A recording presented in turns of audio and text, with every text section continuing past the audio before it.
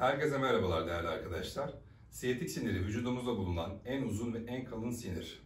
Siyetik siniri vücudumuzda özellikle bel bölgesinde kanal daralması, bel kayması, fıtıklar, e, yine bacakta kalçada oluşabilecek tümörler, enfeksiyonlardan dolayı sıkışabilir, baskıya maruz kalabilir. Yine piriformis kasının spazmı veya kısa oluşu siyetik sinirini sıkıştırıp kalçada ve bacaklarda ağrıya sebebiyet verebilir. Siyetik sinir sıkışma testi yapacağız.